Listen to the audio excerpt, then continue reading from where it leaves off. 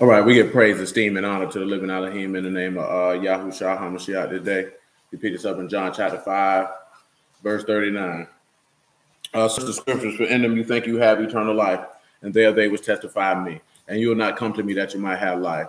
I receive not honor from men, but I know you, that you have not the love of Elohim in you. I come in my Abba's name, you receive me not. If another shall come in his own name, him you will receive. How can you believe which receive honor one from another and not the honor that comes from Elohim only? Do not think that I accuse you. The Abba, one that accused you, even Moses, in whom you trust. Had to believe Moses, you would have believed me, for he wrote it, believe my words.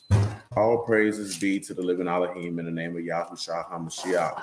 This day, let's get this Psalms 137 and then Psalms 87 out the way put it into play. Psalms 137 by the rivers of Babylon, there we sat down. Yeah, we wept when we remembered Zion. We hanged our harps upon the willows in the midst thereof, for there uh, they that carried us away captive required of us a song. They that wasted us, mirth. Sing us one of the songs of Zion. How shall we sing your shalom, man? Should sing Yahuwah's song in the strange land. If I forget you, O Jerusalem, let my right hand forget. If I do not remember you, let my tongue cleave to the roof of my mouth if I prefer not Jerusalem above my chief joy. Remember, O you who are the sons of Edom in the day of Jerusalem, who said, Raise it, raise it to the foundation thereof, O daughter of Babylon, who art to be destroyed. Happy that rewards you as you have served us. Happy that take and dash your little ones against the stones. Psalms 87.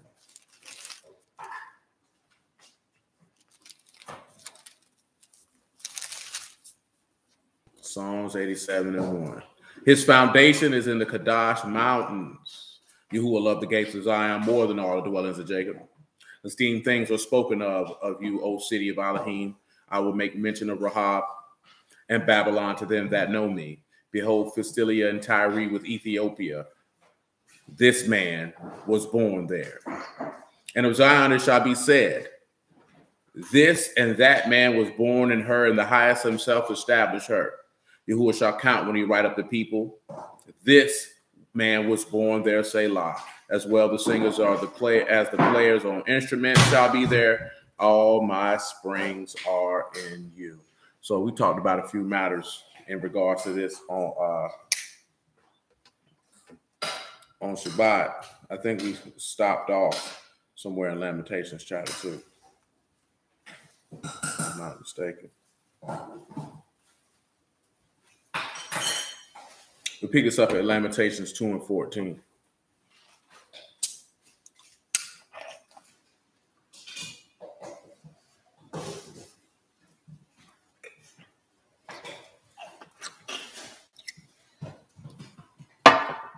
Your prophets have seen vain things, vain and foolish things for you.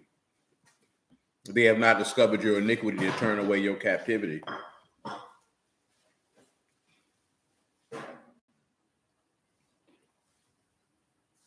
But they have seen for you false burdens and causes of banishments. All that clap. I think we did finish this chapter. All that clap pass by, clap their hands at you, they hiss and wag their head at the daughter of Jerusalem, saying, Is this the city that men call the perfection and beauty, the joy of the whole earth?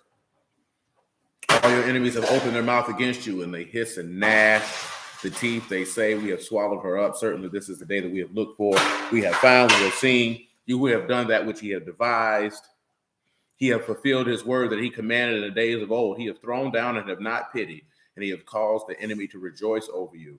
He has set up the horn of your adversaries. Let's take a look at this one part that he has done that which he's devised and fulfilled the word which he commanded. First and foremost, let's go to uh Psalms 40. That's Psalms 46. Isaiah 46 to John chapter 8 to Revelation 19.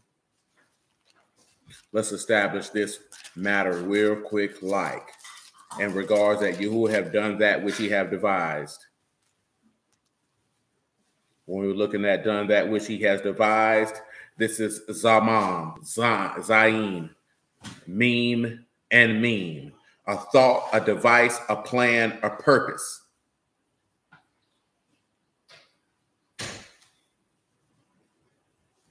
He has devised through chaos, the crucifixion and shedding of blood of Mashiach, or because of sin, Mashiach had to be crucified and shed his blood. Isaiah chapter 46.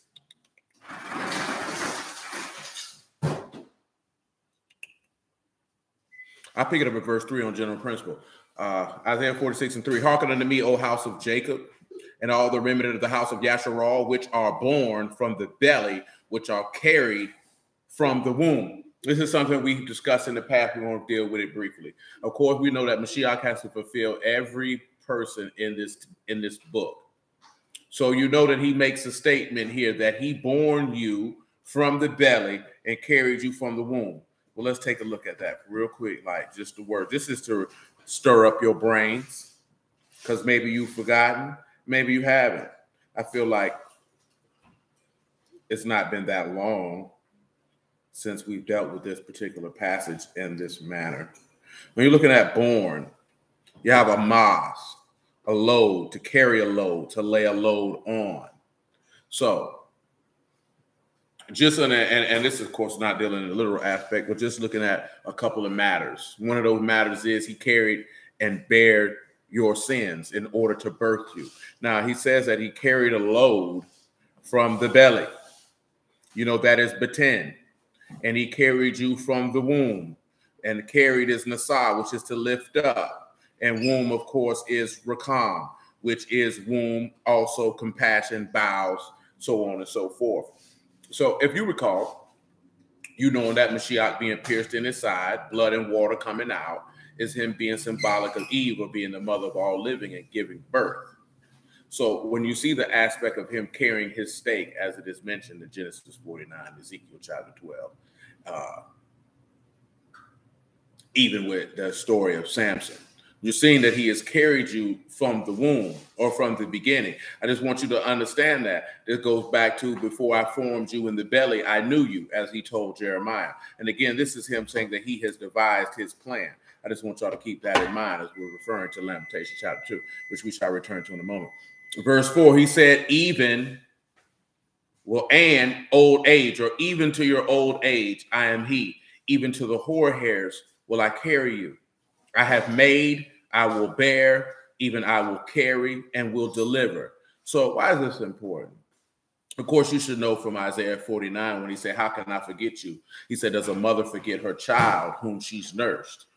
You understand? So, if he's given birth to you, then he's not going to forget his child even as his child enters into old age. Now, this is an element that if a woman actually has the nurturing elements of a mother. See, I, I, I, this is something that I've understood from a very young age that I'm not going to say that some women don't love their children, but I can certainly tell that they did not want to be mothers. And there is a difference. There is a difference. And if you don't know the difference, that is unfortunate. You know what I'm talking about? because we're not talking about maintaining a child. Feeding a child and clothing a child is not mothering a child. That is maintaining a child. You can feed and clothe a dog. You know what I'm talking about? That doesn't mean you raise that dog. You know what I'm talking about? Most people maintain their offspring, they do not raise them. Most women maintain their offspring. They do not nurture and love them. See, the thing that I tell y'all that, okay, once a child reaches a certain age, there's nothing much that the mother can give. The only thing that she can give is nurture and love. That's her job. That's the most important thing that she can give. The father can give those things also. But that's what the mother's role is. The mother's role is to not instruct. It is not to chastise. It is not to guide. She can drop jewels on them if she has wisdom, of course if she has understanding in matters of life, then of course she can impart them. But her number one duty is to nurture and love. And every woman does not have that in them. It's not, it's, it just is what it is. Just because you can cock your legs open and receive a man's seed and push a child out, don't mean that you're a mother. You know what I'm talking about? So I know a lot, especially with black people, you don't want to hear that because you want to everybody want to see everybody want to believe that the fathers is trash and the mothers are are without blemish when some fathers are trash and some mothers are trash. Some fathers and mothers are good. You know what I'm saying? It just it's really just on a case by case basis. Because some people had no business breeding. Some people, some men had no business giving a woman their seed. You should have kept that to yourself. She was not worthy of your seed. You placed her in a position in life that she did not deserve in. See, some women are whores in the brain, not even necessarily whores with their vagina, but whores in the brain. She can't love no child.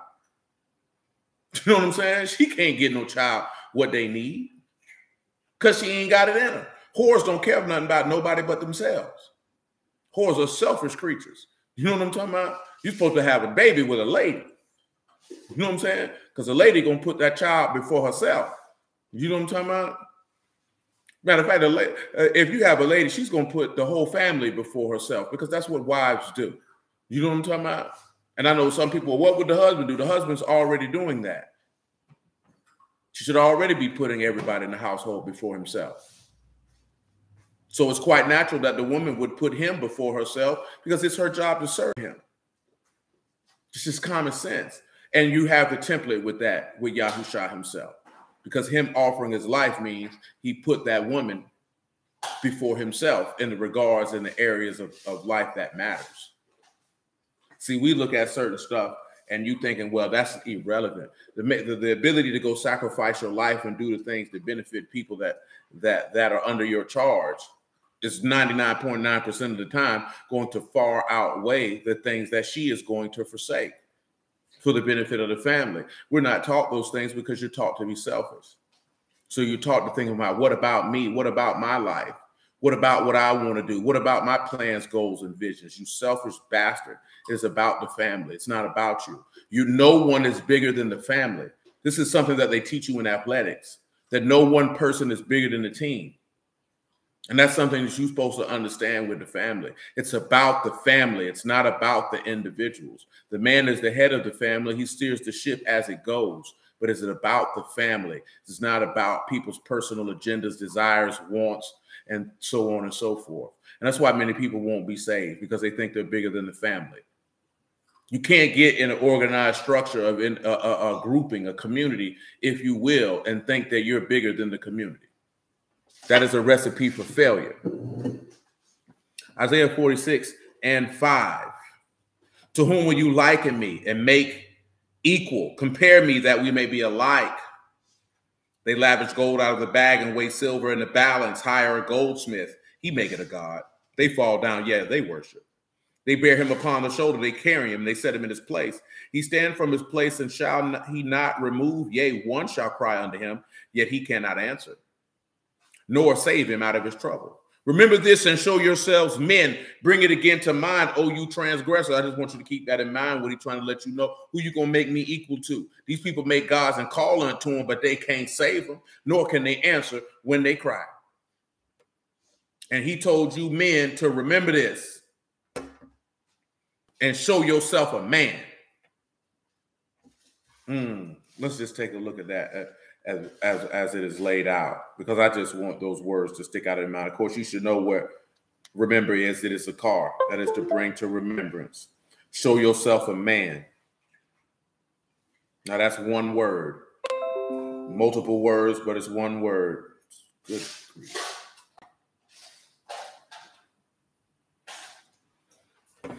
And it is Ish, Aleph, Yah, Shin.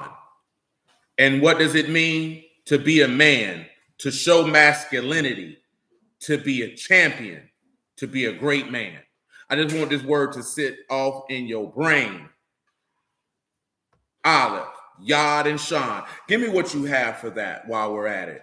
Ish, literally, to be a man, to show masculinity, to be a champion, to be a great man. This man wants you to bring to mind and show yourself to be a masculine champion, to be a great man, a man of stature, a man of value. This is what Yahuwah himself is instructing you to do.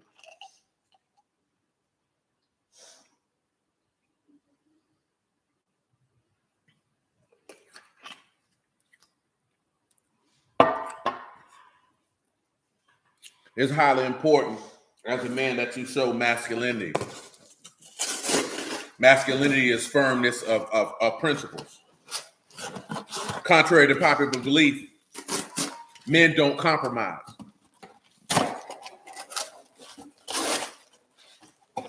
See, I know what a lot of women, what if you don't know this? Or what if If you got a man that you don't trust his decision making, well, you the damn fool for getting down with it. You know what I'm talking about?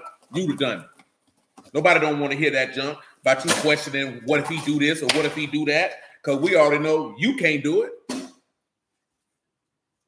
Because if you could, you would have already been doing it. You wouldn't have been seeking somebody out to do it for you.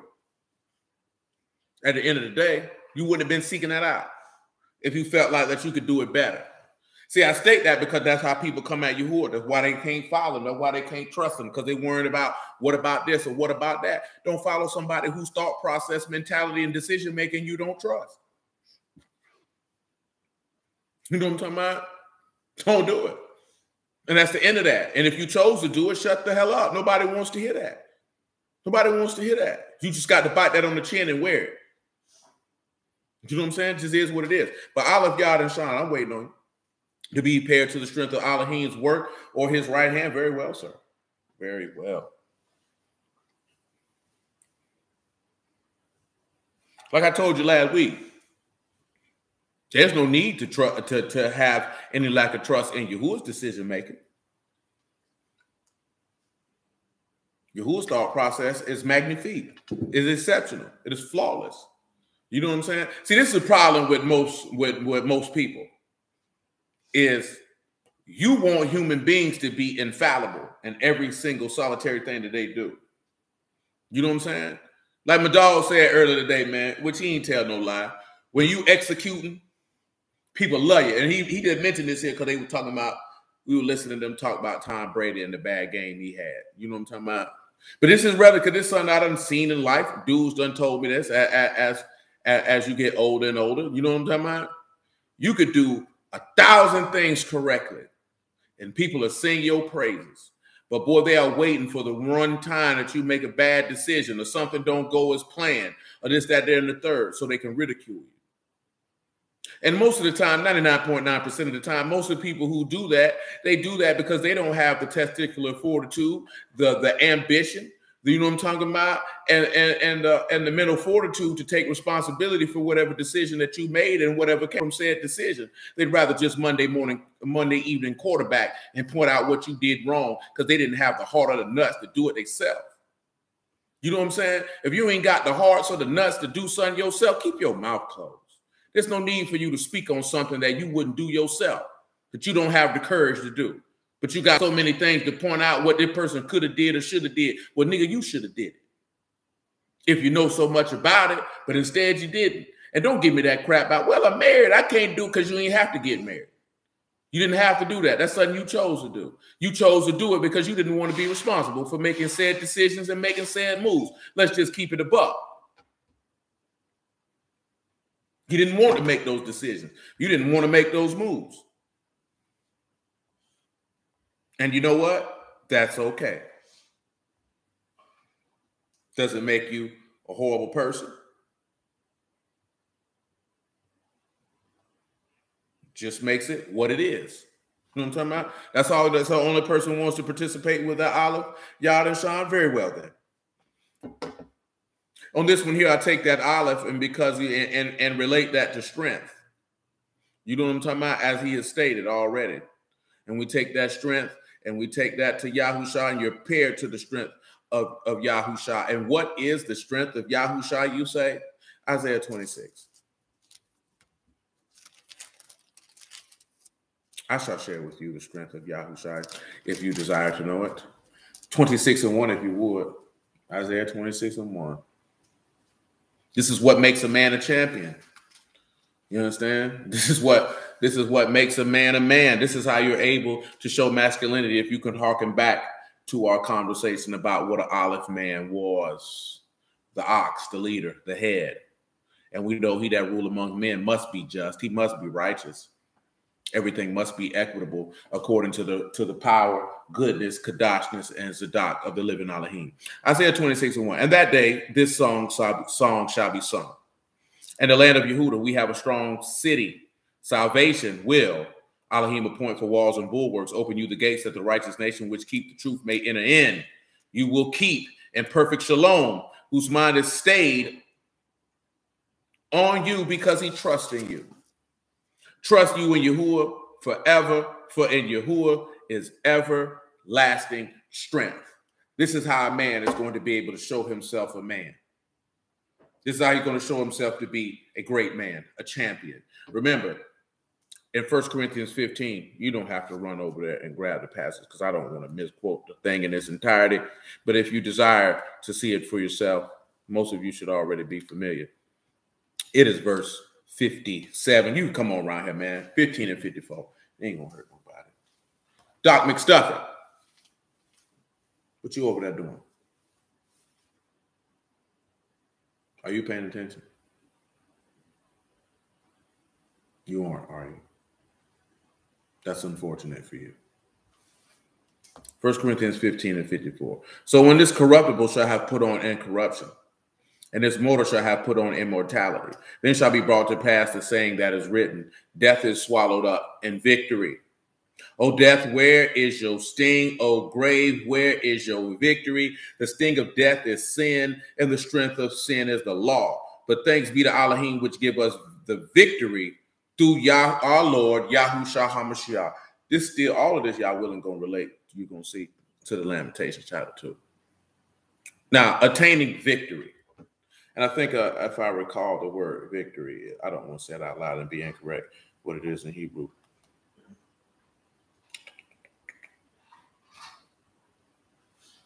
Come over here to Second Samuel real quick, Mike, if you would. You know what? Let's do this. You know, no, let's do Second Samuel 19 and 1. Matter of fact, back it up to Second Samuel 18.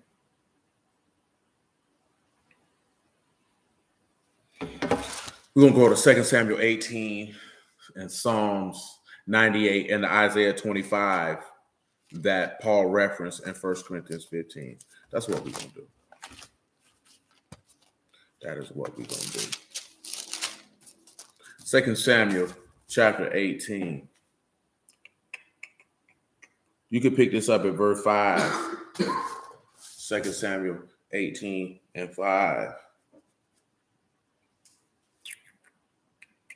And the king commanded Joab and Abishai and Ittai, saying, Deal gently for my sake with the young man, even Absalom. All the people heard when the king gave all the captains charge concerning Absalom. So the people went out into the field against Yasharal, and the battle was in the wood of Ephraim. When the people of Yasharal was slain before the service of David, there was a great slaughter that day of 20,000. For the battle was there scattered over the face of all the country. The wood devoured more people that day than the sword devoured. Absalom met the servants of David, and Absalom rode upon the mule, and the mule went under thick boughs of a great oak, and his head caught hold of the oak, and he was taken up between the heaven and the earth, and the mule that was under him went away. And a certain man saw it and told Joab, Behold, I saw Absalom hanged in an oak. Joab said unto the man that told him, And behold, you saw? Why did you not smite him there to the ground? I would have given you 10 shekels of silver and a girdle. The man said unto Joab, Though I should have received thousands, a thousand shekels of silver in my hand, yet not I would have put forth my hand against the king's son. For in our hearing, the king charged you and Abishai and Ittai, saying, Beware that none touch the young man Absalom. Now, of course, you see the parallels. And of course, it's Wednesday, so I have to be swift. And, and oh, goodness gracious. And, uh, and then bringing forth of said uh, information. So the first thing that you'll notice is Absalom caught up in a tree between heaven and earth. Of course, John should come to mind that when the Son of Man be lifted up, he will draw. Now, Absalom is lifted up in between heaven and earth. He said, "You, I would have gave you such and such to smite him in the ground." See, this man here was different than Judas because he turned down the wages of blood. He wasn't like Judas to take the wages of blood. He turned it down. He said, because we will not lay my hand upon the king's son. Kind of the reverse of what you see in Corinthians when he stated that uh, if they would have known, they would have not killed the prince of esteem. You understand? See, this man knew, so he wasn't going to lay his hand on the king's son. All of these things is relating to this point that he has devised a purpose and a plan from the beginning. That's why he told you to bring it to mind to remember, or zakar each. Bring to remembrance and, and be masculine and be a champion, be victorious, be a man of victory. See, a lot of men in our society, black men specifically, quote unquote, they're not men of victory because niggas is losers in the brain. You know what I'm saying? What makes you a loser in the brain is your mindset, not the things that you have achieved or have not achieved. You consistently and constantly play the victim. You want someone to feel sorry for you. You never take accountability for your choices, whether they be positive or whether they be negative. It's always somebody to blame. It's all body. it's always somebody's fault. You never execute. You don't finish things that you start. All of these things are feminine. These are things you learn from your mama. And nigga, don't nobody want to hear that from no 30, 35, 40, 45 year old man. Nigga, you's a failure. You know what I'm talking about? And you ought to go talk to your daddy and look him in the face and say, Daddy, you failed me. Now look at me. I'm a failure just like you. You know what I'm talking about? So no one want to sit back and do that. Now that doesn't mean that any of you are a failure. Because some of you may have recognized early that you was about to go down the path you ain't desire to go down, and you made the necessary adjustments in your life to not be a failure and a loser. I tell you this because I have great and utter contempt for weak-minded men that complain and whine about what they do or don't have. You know what I'm saying? Why, why, why would you do that? I'm gonna tell you before I just told my dog this the other day, man. Nigga, if you call my phone talking about what the white man won't let you do, well, I'm gonna go off on you, and then I'm gonna hang up in your face. Cause I don't want to hear that. How you say you sir you who are talking about the white man stopping you from doing this and stopping you from doing that? Don't even make common sense. So you mean to tell me a man got more power than Elohim? Nigga, that's insane. You know what I'm saying? My wife won't let me do this. My wife, this, these people, and this and all that. Nobody wants to hear that. You know what I'm saying? Hey, man, if it didn't go how you planned it, then hey, man, it didn't go how you see. There's a difference of making excuses and being able to actually look at and see what went wrong, and you being cognizant and having the self-awareness of why something didn't succeed. See, you know what I'm saying? See, sometimes people don't look at it. You can look at it and see why something didn't succeed. If you can look at it and see why it didn't succeed, then that means that you have the ability to course correct. You know what I'm saying? If you have the ability to course correct, that means you're you're eh, you're actually available in the moment and not moving around like a loser. Most people out here are losers. You're already defeated in the mind. That's why you can't. That's why you can't win. And again, winning is relative. It's relative to what you seek to, to, to get accomplished. And as we discussed the other day. Let's continue in 2 Samuel 18 and 13. Otherwise, I should have wrought falsehood against my own life. Look at that. For there is no matter hid from the king, and you yourself would have set yourself against. Look at what he said. I would have wrought falsehood against my own life. What's your problem? Because it seems like you got a problem. I know you ain't finna eat nothing, all that junk you done ate today.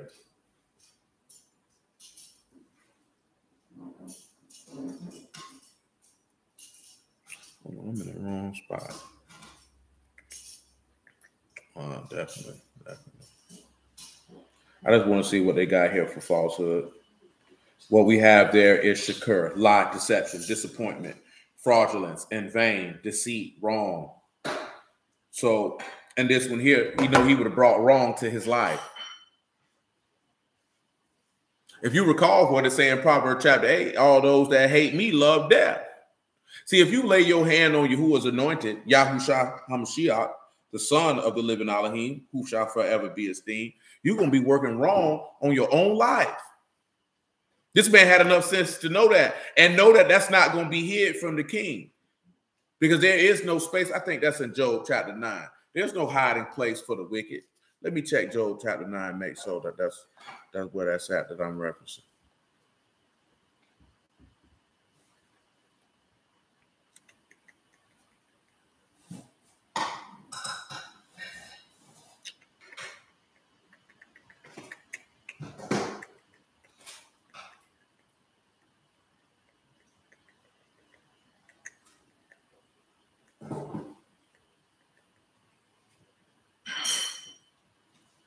No, that's not a Job 9. Nevertheless, Yahuwah will it'll come to mind in a moment. Ain't no way you can hide from Yahuwah. He feel heaven and earth. Matter of fact, he told you if you go into heavens, Yahuwah is there. If you go into the ground, Yahuwah is there. Ain't no way you can go. Ain't nothing you can do to cover that up. Verse 14 to 2 Samuel 18. Because my apologies, we had a long work day, so we were a little behind. No, no, no, no, no. I don't think that's nine. I just looked at nine and 24. That ain't what I want. Not the earth given in the hands of the wicked. He's literally saying, ain't, ain't, ain't no way you can't cover nothing up. Right? You who will it come to mind. Then Joab then said Joab, I may not tarry thus with you. He took three darts in his hand and thrust them through the heart of Absalom while he was alive in the midst of the oath. And the ten young men that bears Joab compassed about and smote Absalom and slew him. Joab blew the trumpet, and the people returned from pursuing after Yasharal, for Joab held back the people. They took Absalom and cast him in a great pit in the wood and laid a very great heap of stones upon him. And all Yasharal fled, everyone to his tent. That sounds familiar. That sounds like just what you've seen in Matthew 28. Threw him in a great pit, put the stone on it. Everybody went to their house to prepare themselves for Passover. Pit, of course, here is Pekath, and that is pit, that is hole. Another word for grave, if you would. Now, Absalom in his lifetime had taken and reared up. We'll need all that. Let's go up here to first one in 2 Samuel 19, because that's what we came here for. And it was told Joab, Behold, the king weep and mourn for Absalom. And the victory that day was turned into mourning unto all the people. For the people heard heard say that day how the king was grieved for his son. And that's what we came there for. Because the day that Yahusha died was a day of great victory, but yet it was great mourning at the same time. Now let's go look at Isaiah 25.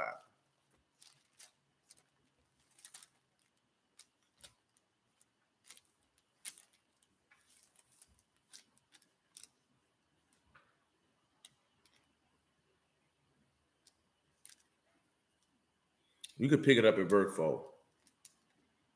Isaiah 25 and 4. For you have seen, a, you have been a strength to the poor, a strength to the needy in his distress, a refuge from the storm, a shadow from the heat. When the blast of the terrible ones is as a storm against the wall, you shall bring down the noise of strangers as in the heat in a dry place. Even the heat with the shadow of a cloud, the branch of the terrible one shall be brought low. And in this mountain shall Yahuwah of hosts make unto all the people a feast of fat things, a feast of wines on the leagues, a feast of things full of marrow, of wines on the leaves well refined. He will destroy in this mountain the face of the covering cast over all people, and the veil that is spread over all nations. He shall swallow up death and victory. Yahuwah Elohim will wipe away tears from off all faces. The rebuke of his people shall he take away from off all the earth, for Yahuwah have spoken it. Now, swallow up death and victory. Victory in this particular passage is Nasak. Eminence, perpetuity, strength, victory, enduring, everlastingness. Of course, in this instance, it's literally victory. Noon, sod, and cot. And you can give me what you have. Noon, sod, and cot.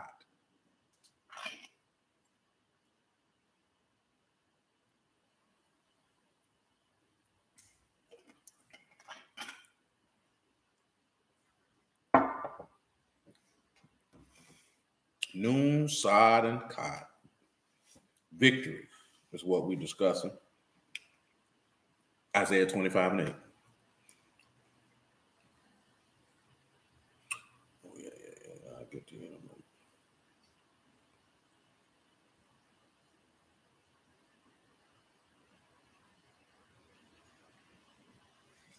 Noon, sod, and cot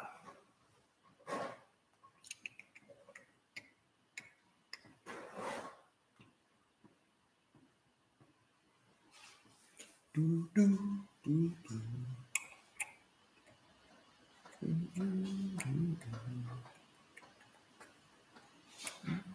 Separated to the way of everlasting life. Anyone else for this particular matter? Noon, Sod, Cot.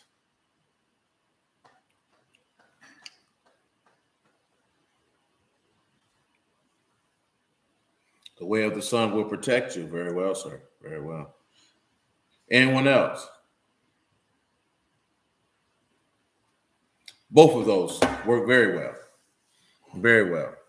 So, of course, when you're looking at victory and he's swallowing up death in this victory, of course, you have been separated to the to the way of everlasting life. But of course, the Kadash way of the Son is going to protect you because it's going to protect you from the very death which he swallowed up to be able to take into victory. Now, I mentioned something else, and now I can't remember. Psalms 98, pray the Lord. So let's take a look at that one.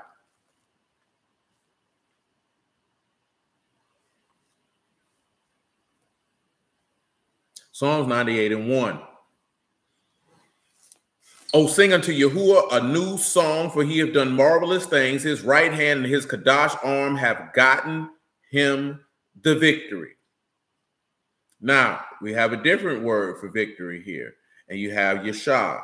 So, in this one here, to give victory to, to save from moral troubles, to be saved, to be victorious, to be liberated, to be delivered. So, with that being said, you have two different things when we look at victory in this manner. Now he said his right hand have gotten him the victory. His right hand has delivered you. What has it delivered you from? It has delivered you from death to allow you to be victorious.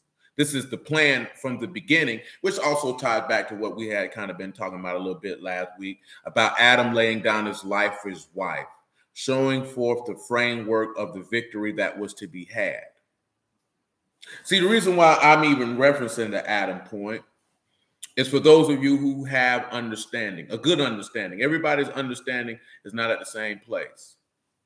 But if you have a good understanding, then you know what conversations not to participate in because you understand that these are people who are participating in something of which they do not know. What do you want? Oh, where's your mother? Well, she'll get it when she gets ready. She doesn't get it upon your demand. So,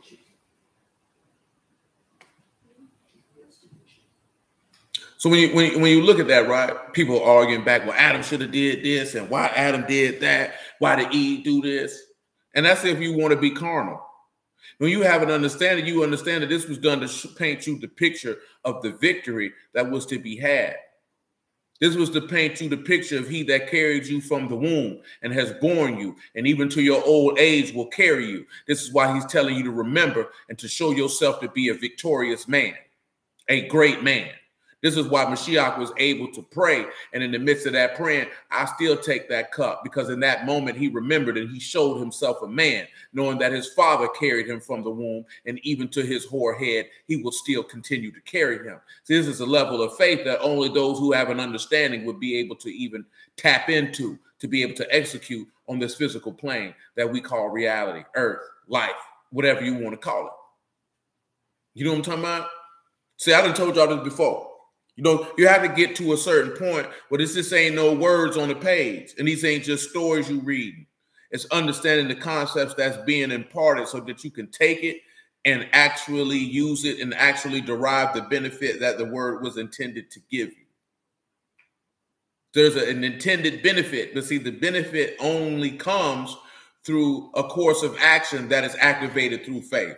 This is why the text say the just shall live by their faith. See, if you don't believe, then there's no way that you could actually live by something and activate its usages and actually see the benefit of using it in the moment. You know what I'm saying? Not trying to determine what the benefit is before or being able to acknowledge the benefit after, but actually, as you have required it, that you could see the benefit. And then when you actually actively have to put it in use, you can see the benefit as it is going. Most people have not achieved that level of faith at this particular point in time. Most people are not there yet. Well, I'm already over there. Let me see what you got. Yeah, see, that's a, that's a different that's a different conversation. He that covereth his sins won't prosper, but he that confess and forsake them will have mercy. We ain't even getting to that part of dealing with if you confessing them or not and then abandoning them so that you can have mercy. You know what I'm saying? Because I don't, I don't want y'all to get on the aspect of thinking about you sinning. Because you could just be in an element of life where you have to sit back and look at that when you are being tried and your, your faith is being tested, as Peter has told you, the trial of your faith is more precious than gold. You know what I'm talking about? That you will be able to look at and see this is the benefit. This is what I'm going to derive from this situation and circumstance according to the word. See, a lot of individuals, when they read about Adam and Eve, they don't have, again, they don't have the understanding that you have. They don't have the understanding that you have. So they can't look at that and see this is Adam dying for his wife. This is a man sacrificing himself for someone. That there's a benefit of his life for this individual. See, there was a benefit that we got from Mashiach offering his life, and that was swallowing up death and victory so that the Son can protect you, so that you could be set apart to everlasting life. There's a reason for that. It's not just something just to be done. It's not just a story to just to gloss over. So that's why you can remember and you can show yourself a man. Because remember, he said, I'm the one who born you from the womb and carried you from the belly. So why am I mentioning that? Because he said, remember this and show yourself a man. So when you're dealing with some type of adversity, that's why I mentioned when Mashiach was praying, but he remembered it. He said, Hey, if it be possible, let this cup pass. But nevertheless, not my will be done, but your will be done, because he remembered that it was his father who bore him from the belly and, and from the womb and was going to carry him even into old age. Therefore, he could recall to remembrance and show himself to be a great man that he was born to be.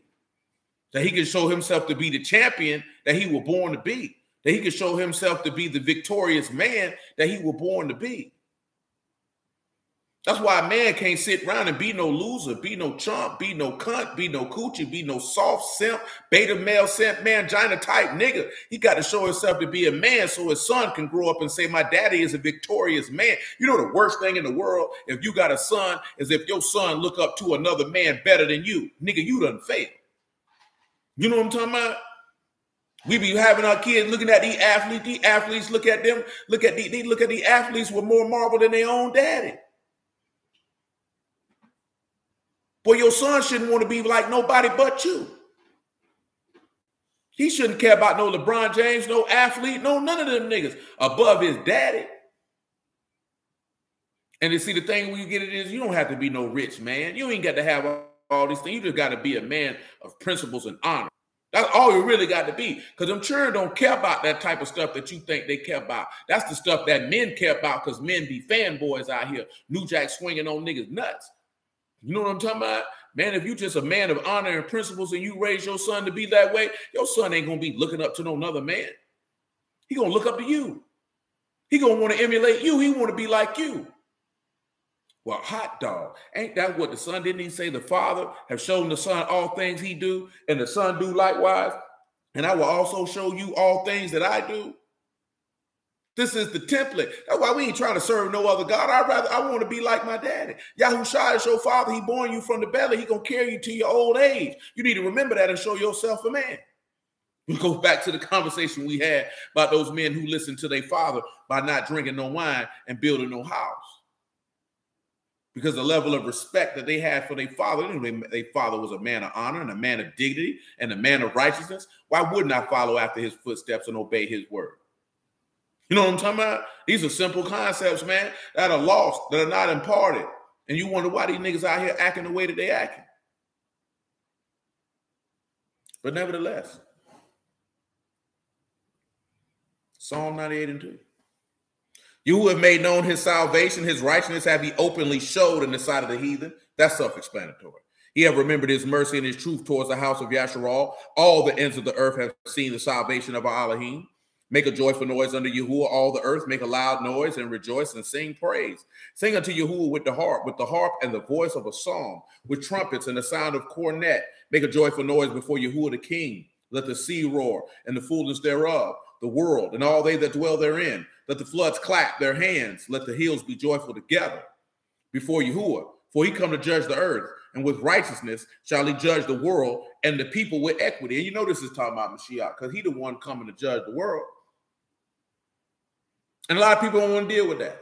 But that's another conversation for later on in the week. Back to uh, Isaiah 46, because I didn't finish that. And then we'll go back to Lamentation chapter 2. And I know I've mentioned Revelation 19, who are willing. We're going to snag that in a moment. I am in Isaiah 46. I'm going to read verse 8 one more time.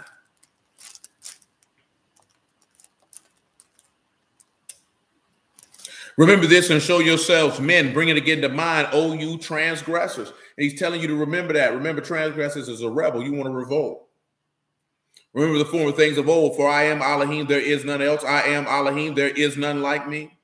Declaring the end from the beginning and from the ancient times of things that are not yet done, saying, My counsel shall stand, and I will do all my pleasure. Calling a ravenous bird from the east, the man that execute my counsel from a far country. Yea, I have spoken it. I will also bring it to pass. I have purposed it. I will also do it. You know what I'm saying? Now, of course, purposed in this particular fashion is Yitzhar, yet again. This is to be predetermined, preordained, to be formed, to be fashioned, to be framed. This man is already pre-appointed what is going to go down. You know, it's a lot of people in the earth, they hate the word. They don't like Yahuwah. They don't like this. They don't like that. They got this to say. They got that to say. And they're to pay the price for what they got to say. You know what I'm talking about? You're not getting away. You're not sliding out the way talking about this man any way you want to talk about it. You're gonna have to, you're gonna have to, you're gonna have to pay the price for that.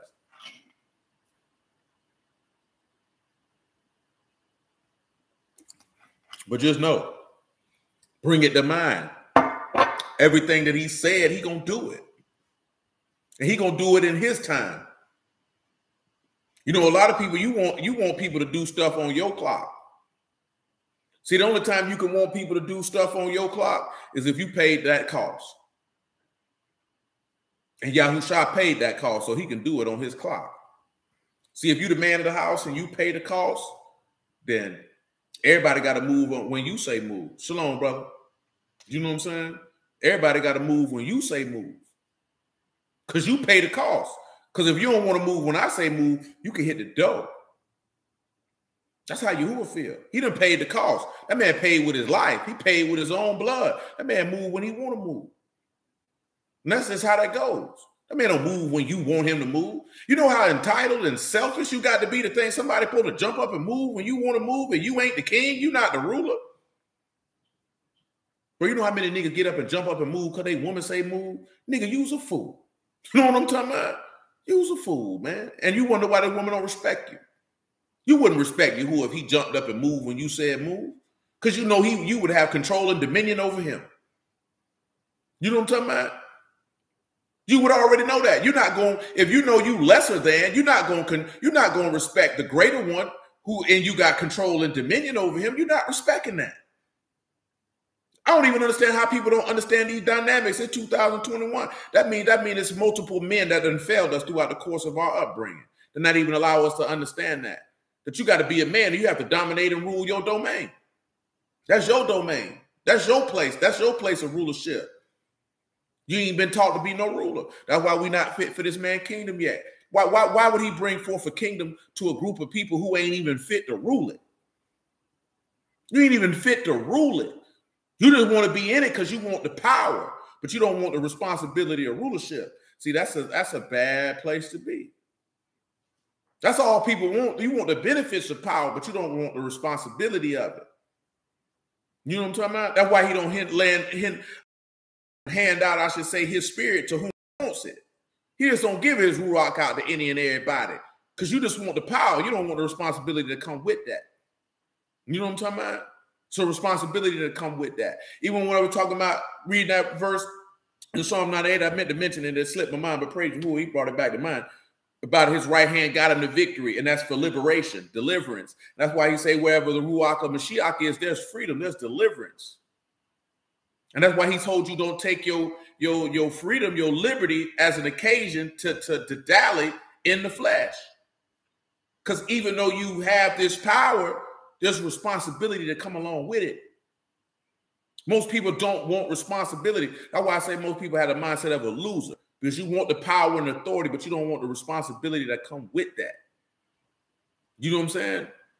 See, Yahuwah gonna be able to stand up in the paint. That's why he say, plead with me in Micah 6. That's why he say, stand up and plead with me. Talk to me. Tell me where I done did you wrong. Tell me what evil I done done to you. Because he could take that responsibility for the decisions that he done made and the direction that he done took you in. As a man, you have to be willing to do that. If you made a bad decision, all right, you made a bad decision. You know what I'm saying? Or do you have the ability to clean that up? Do you have the desire to clean that up? Most of us don't, because then it take work.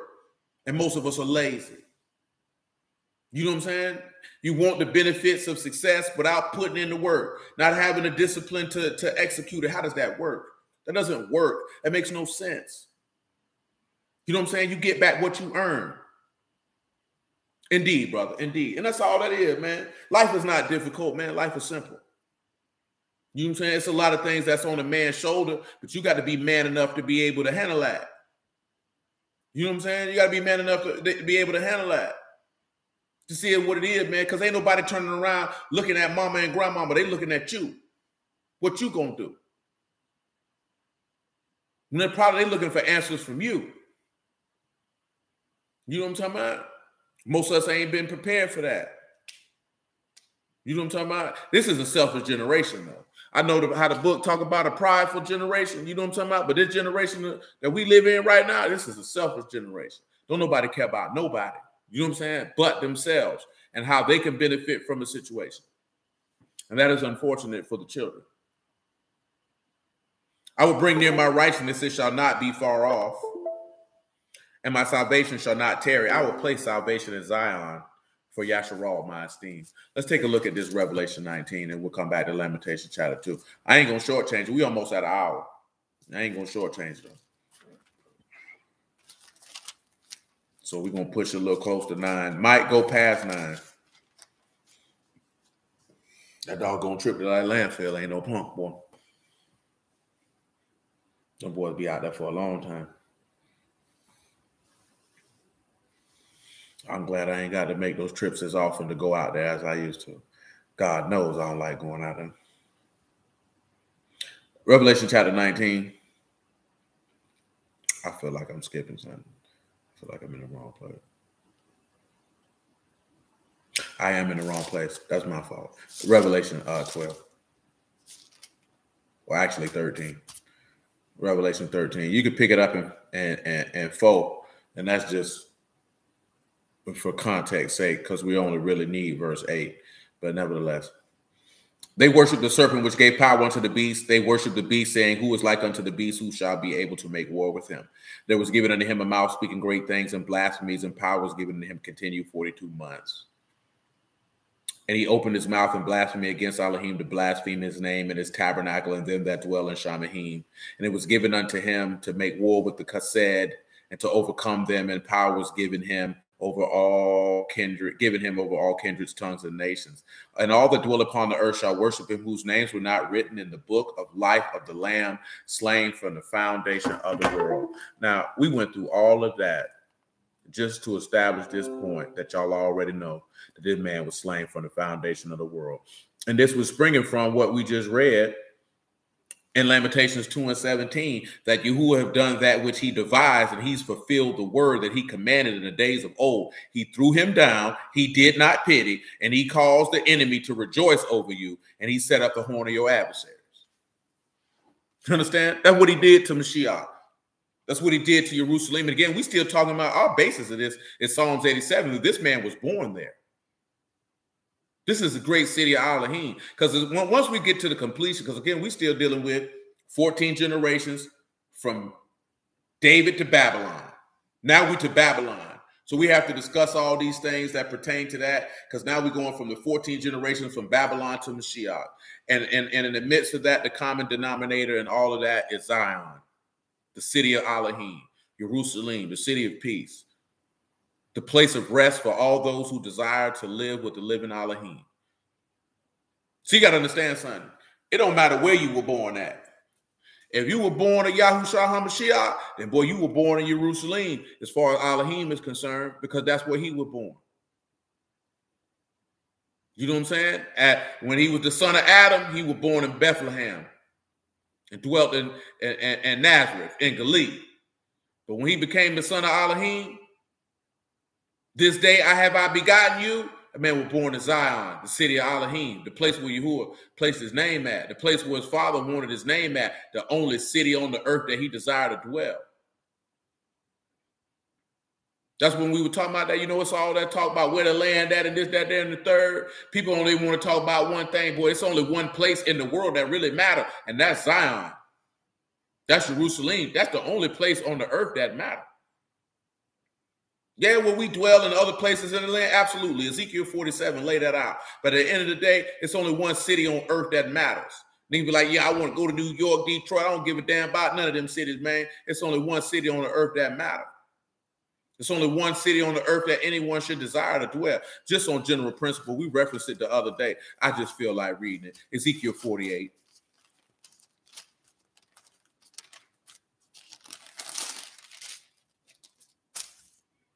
I'll pick it up at 30. I'll make it swift as I possibly can.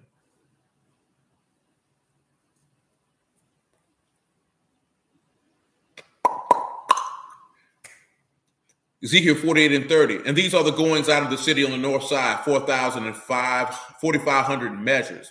The gates of the city, after the names of the tribes of Yasharal, three gates northward, one gate Reuben, one gate Yehuda, one gate Levi. On the east side, 4,500, three gates, one gate Joseph, one gate Benjamin, one gate Dan.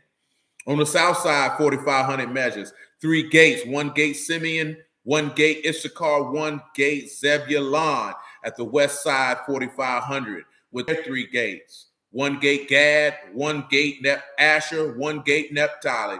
And it was round about 18,000. And the name of the city from that day, Yahuwah is there. And that's all that matters. See, that's what it goes back to the process of that verse where he say these prophets have not found out the causes of your, your have found for you false burdens and not have turned away your exile and the causes of your banishment. Because now you're not going to be able to be where Yahuwah is. See, at the end of the day, that, that's what it's supposed to be about. If you ask any woman and she actually loves her husband, she want to be where her husband at. See, the woman should want to be around you more than you want to be around her. See, if you want to be around her more than she want to be around you, that means you're emotionally attached to this woman. That's the wrong place for you to be. And it also means you ain't got enough going on. You know what I'm talking about? Because you're supposed to be anchored in what you got. Your purpose supposed to be greater than you want to be around a woman. You know what I'm talking about? That's just, just what that is. It's just as a man. That doesn't mean you don't want to spend no time with your wife. Don't mean you don't want to see your wife. But if you want to see your wife more than she want to see you, then that means you ain't got enough going on. That means you ain't handling what you supposed to be handling. And that don't mean I don't and that don't mean you got to own no business. That don't mean you got to be doing this, that, there, and the third. But you have something that is that is greater than spending being around a woman. Because you got dudes, all they want to do is be around their woman. You can tell that mean they ain't got nothing going on. Because that's supposed to be the woman. She's supposed to desire to, to get to feed from your masculine presence, your masculine energy that you have to give. You know what I'm talking about? You trying to feed off femininity as a man? So what, what you got going on with that? How you gonna feed off of that? We ain't talking about when it, has been tough and you looking for for a little bit of comfort, little bit of nurturing. That's a different conversation. Y'all know what I'm talking about. You got dudes be stuck up their old lady butthole, man. Now some of that be insecurity and jealousy, and you gotta watch niggas like that because that's niggas who'll kill you. And they'll do that because of an emotional attachment. I done told you that before. You ain't supposed to be emotionally attached to nobody. Just for simple fact that your life ain't but a vapor. Ain't nothing, ain't nothing forever in this life but Yahuwah. That's the only thing that's forever. And death. You know what I'm talking about? If you're on the wrong side of death. I ain't talking about that first one. I'm talking about that second. one. Because if we talking about Yahuwah, that goes without saying that that's life and that's forever. That goes without saying. And we have to tell you that that Yahuwah is everlasting life, then that means you just don't know Yahuwah at that point. That should go without saying. That shouldn't even have to be told. The reason why I state that is Yahuwah has a desire to be with you, but you supposed to desire to be with Yahuwah way more. Yahuwah don't desire to be with you so badly that he is going to chase after you and bombard you. See, the more you desire to be with Yahuwah, the more you'll have a desire to bend to his will and to conform yourself in his image. That's why. Because if you want to be around this woman more than she want to be around you, that means you want to conform yourself to her image. She should want to conform herself to you That's why she's seeking to be in your presence. You know what I'm saying? We don't understand that, but we know why we don't understand it. Because you know you, have been told to be lovey and mushy and gushy and all that old super romantic stuff, man. You can check that junk at the hotel desk. You know what I'm talking about? Because that junk ain't gonna do you nothing. You can't show yourself a man with all that there because you're gonna be too you're gonna be in too much of a situation where you're gonna be operating in the wrong spirit. And when we talk about in the wrong spirit, not in the spirit of a great man, not in the spirit of a champion.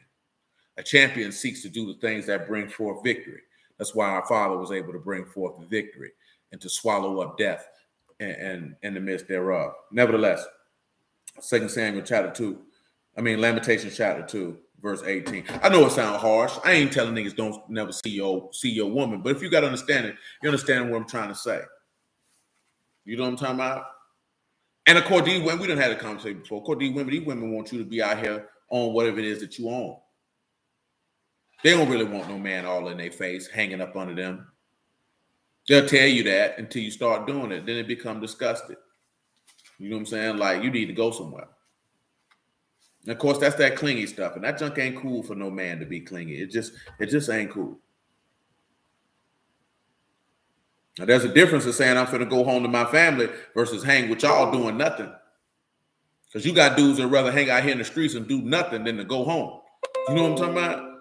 Them boys ain't got nothing going on, boy, take your black behind home, nigga. What's wrong with you? You got churn. Ain't nothing out here for you. You know what I'm saying? If you've been out here in the streets, you already know, boy, ain't nothing out here for you. Ain't nothing out here, man. Ain't nothing but ain't nothing but pain and hard times out here, man. Lamentations 2 and 18, the heart cried unto the Lord. O wall, the daughter of Zion, let the tears run down like a river day and night. Give yourself no rest. Let not the apple of your eye cease.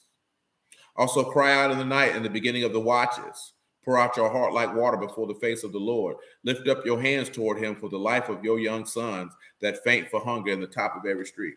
That takes us back to the fact that Yahusha cried out in the night in Matthew 26. And, he, and the night watches, and he poured out his heart like water before the face of the Lord. That's exactly what he did. That's why he says that, that's why Paul wrote that you should lift up Kadash hands with no wrath and no doubt. Also, take you what's in Psalm 62 that Yahuwah is a refuge for us. Pour out your heart unto him. Behold, O Yahuwah, consider to whom you have done this. Shall the woman eat their fruit? And children of a span long shall the priest and the prophet be slain in the sanctuary of the Lord. Listen, he said, right? Consider this. Shall the woman eat their fruit and the children span long? Well, we know the priest and the prophet was slain in the sanctuary of Yahuwah because they slain Yahuwah himself. But let's take a look at this span long. When this one here, it is tip pook tet, pay, cot. It's tender care, it's dandling, it's nursing. So will those who are filled with the word be separated? Will those who are filled with the word be protected? Shall the woman eat their fruit and turn away from dandling and nursing the young ones? Will there be protection for them? The young and the old lie on the ground in the streets. My virgins, the young men, are fallen by the sword. You have slain them in the day of your anger. You have killed and not pitied. You've called us into the solemn day. My terrors round about. So in the day of Yahuwah's anger, none escaped nor remained. Those that I have swaddled and brought up my enemy have consumed. So when we look at solemn day yet again, of course, you know this is Moed, this is appointed time. You know you're dealing with a feast day an appointed time where his terrors, and of course, you know his terrors was brought upon Mashiach, and at the anger, nobody he didn't escape. That swaddle taking us back to Ezekiel 16, and the enemy consumed. Death consumed, but did not win. So our point of what we even started at the majority of the things that we looked at, and that one is to consume, determine, end, fail, finish, be complete, completed at the end, to be finished and to be completed. All of that that we looked at before is that he purposed a plan. And of course, the conclusion for, for us is for the 42 generations, starting from Abraham to Mashiach, in order to get the victory. This is the purpose. This is the plan. This is what he intended. This is what he desired so that you could win. But if you don't take nothing else besides the purpose and plan and the love that Elohim had is for us to show ourselves to be each a man, a victorious champion, a great man, and to show forth masculinity.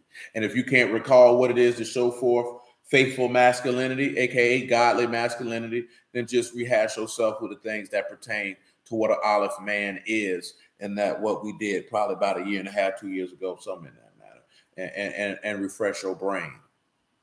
Because masculinity ain't about being a douche or a hole or anything of that nature. It's the ability to, to, to manifest strength. And of course, what we've seen from that is that that strength is rooted in trusting in Yahuwah.